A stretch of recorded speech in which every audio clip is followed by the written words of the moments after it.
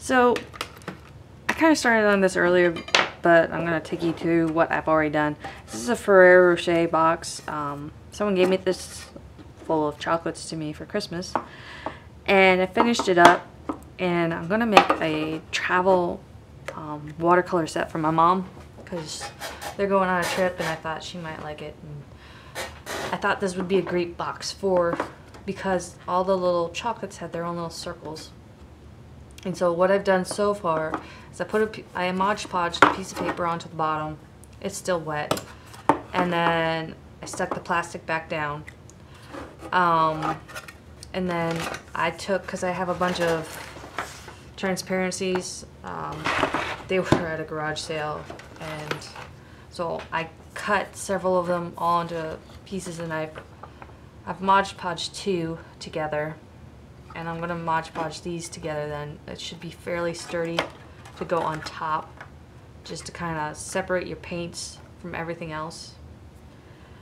Um, now this sticker is on there like super crazily on there so there's no way of getting it off and I don't know seems a little cheap to anyway I tried to cover it with some acrylic uh, liquid acrylic, but it just made it shiny. And so that's not what I want it to look like.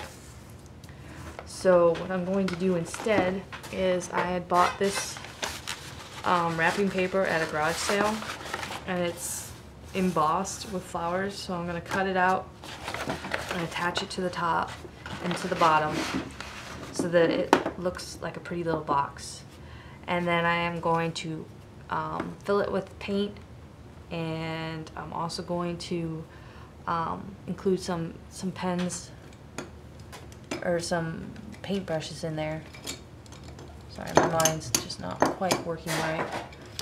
And I have this silver black velvet extra, so I'm gonna put that in with hers, and to uh, and a watercolor brush. So to catch up, I used an X-Acto knife and basically I folded my pans, figured out where my edges were, and then I cut it with an X-Acto knife, which was strangely satisfying. It was possibly the easiest way to cut wrapping paper ever. Um, now I'm just trying to figure out the best way to essentially wrap it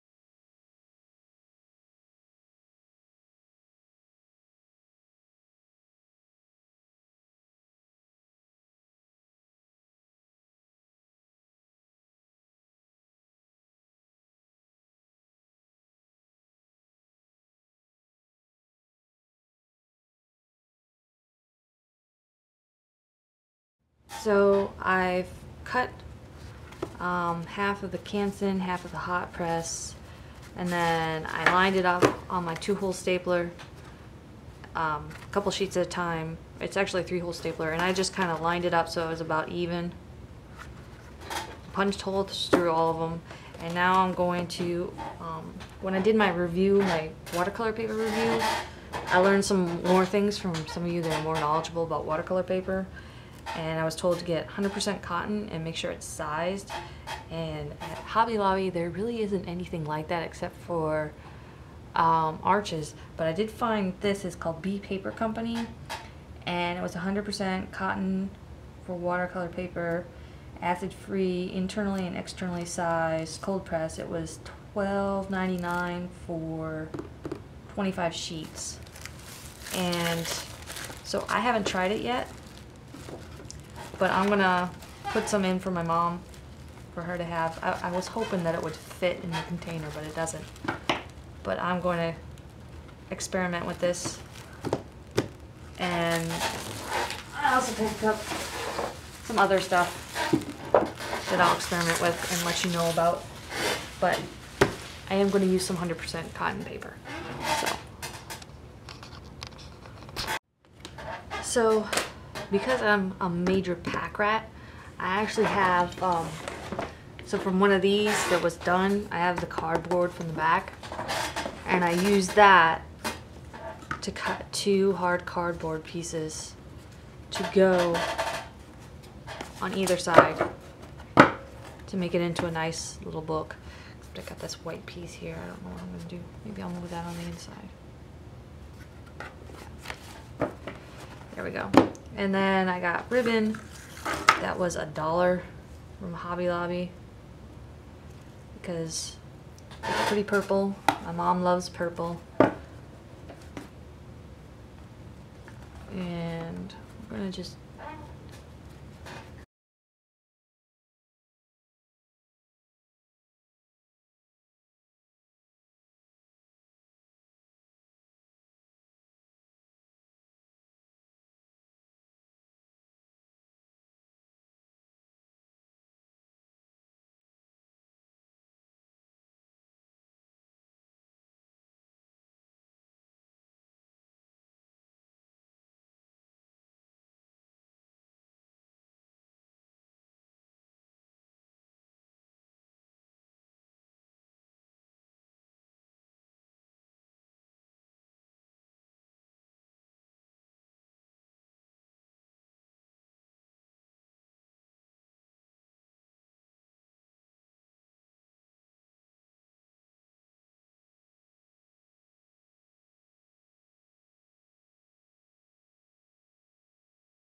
Okay, so I'm gonna wrap this up because I'm hoping that I'll dry tonight and be good for tomorrow. Um, I'm taking it to meet my mom, so I kind of rushed it. But I got Payne's Gray, Sap Green, Hansa Yellow, Naphthol Red, and this is Cobalt Violet, Prussian Blue, Phthalo Blue, Burnt Sienna, Quinacridone Rose, and they're all the um, M. Graham M. Graham and Company. I love these guys. So I just, I poured them in to the little bucket. I was going to make a little puddle along the edge with my hot glue gun, but I ran out of hot glue. So I'm going to tell mom just to run one across there that way. Yeah, that was beautiful. Anyway, so that so that these edges, these circles can be a full set and they don't spill out into something else. So but I don't have any more glue to do it. So I'm going to put my lid on and that separates my contact sheet and my book.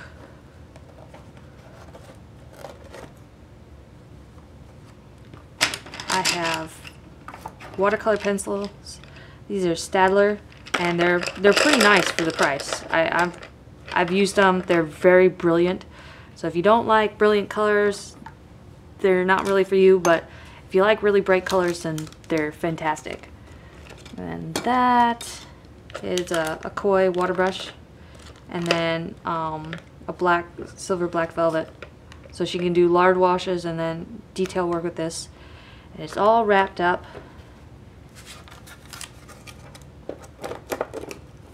inside the box.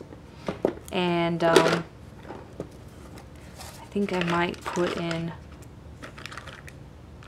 a piece of bubble wrap just to kind of hold everything. But that is my gift box to my mom. And I hope you enjoyed it. Once it's dry, it should look nicer. But I'm, I'm pretty happy that it's got everything in there for the watercolorist on the go. Um, it won't really fit in your purse, but she's traveling in an RV, and so this this will be a nice little stick away box for her. Okay. Have a good day. Bye. So if you enjoyed my video, please go on Amazon and buy my book. I wrote and illustrated it. It's based on a semi-true tale of a little teddy bear that was found in the Hiawatha National Forest. It's a cute story, um, it's a true story, most of it's true. And it's a good way to get your kids interested in taking care of the earth. So like, subscribe, buy my book, um, and come back. I hope you enjoyed it. Thank you. Bye.